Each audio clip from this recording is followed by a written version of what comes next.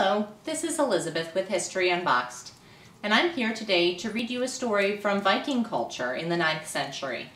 This is a story about Thor and Loki, who you've probably heard of as they've remained to be popular icons in pop culture and entertainment to this day. They originated with the Vikings many centuries ago, and this is one of their stories where they travel to meet the giants. In this story, there's a second Loki, Utgard Loki, who is not to be confused with Thor's brother Loki. Utgard Loki is one of the giants. Part 3 Upon seeing the four strangers, the giant said, Why, this must be the god Thor. I really did not suppose that you were such a little fellow, Thor, but probably you are stronger than you look. Now, before you sit down at our table, you must each show some proof of your strength. Then Loki, who was very hungry, said he was sure he could eat more than anyone else. So the king called one of his giants to come forth, saying to Loki, If you can indeed eat more than any of my men, you will perform a great feat. A huge trough full of meat was brought in, and Loki began eating at one end, while the giant began at the other. They reached the center together. But Loki had only eaten the meat, while the giant had devoured meat, bone, trough, and all. Thialfi, the peasant boy, took his turn next and boasted that he was the fastest runner of them all.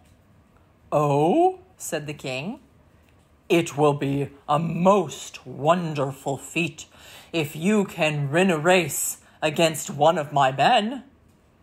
The first time Thialfi ran the course, he kept ahead until near the end, when he was beaten by only a few yards. The second time, he came off worse. The third time, he was only halfway around when the giant reached his goal. Thor, however, was not all cast down by the failure of others and he proposed to try a drinking match.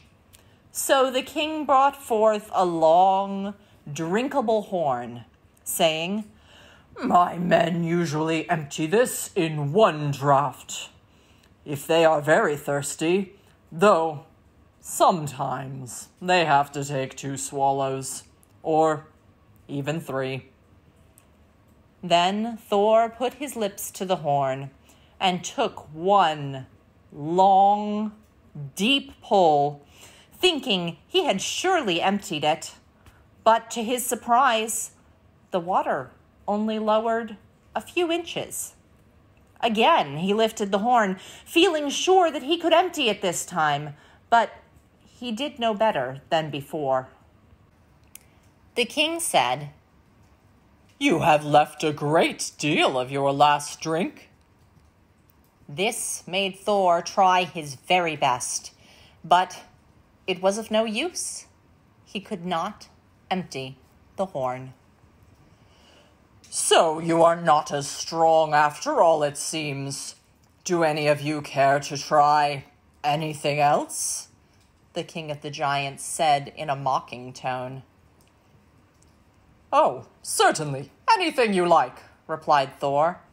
Well, said the king, I will give you something easy this time, since I see you are not as strong as I expected. You may try to lift uh, this cat from off the floor. It will be mere child's play for one of my men. Thor put out his hand to lift the cat, but he could raise only one paw, though he used all of his strength.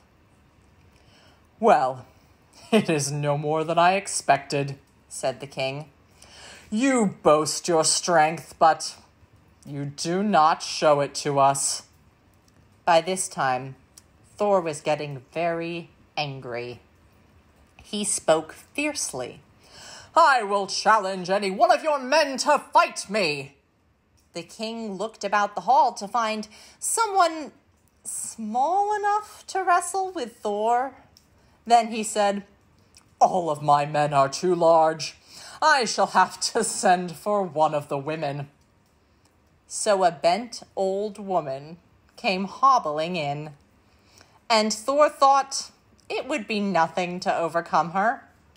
But the longer they wrestled, the stronger the old woman became. At last, when it was plain she was going to win, Thor had been thrown to the floor, and the king called for them to stop. Thor and his friends were invited to stay and sit down to a feast. The next morning, after a good breakfast, they started on their journey home. Utgard Loki, the giant king, went with them to the city gate. And when he was about to leave them, he asked, Did you find it as easy as you expected to overthrow the giants? No, said Thor, who was too honest to hide his shame. I am vexed that I have done so little, and I know that after this failure you will all laugh at my weakness. Indeed, no, replied the king.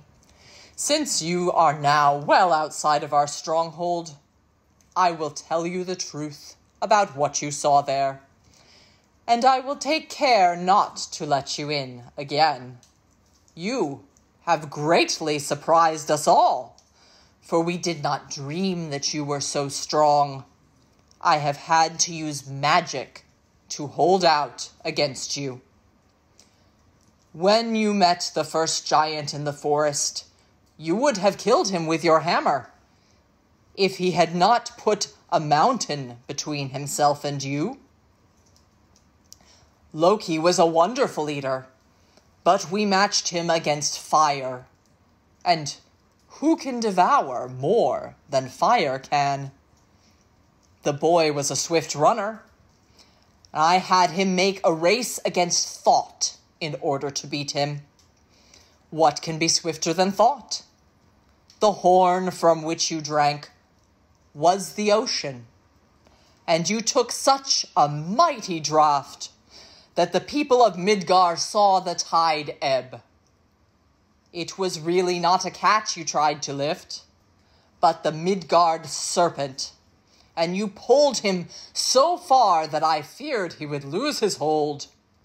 Then you wrestled old age. And who is there that can overcome old age?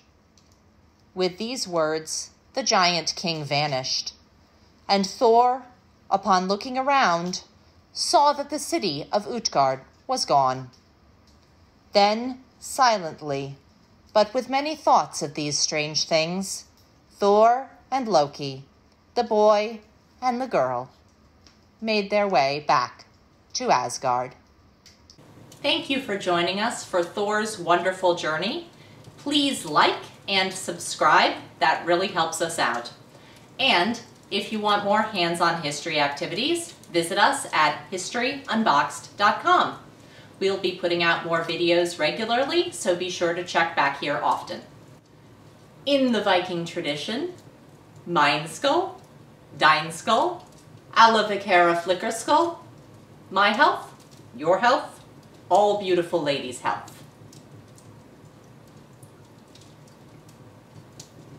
Goodbye.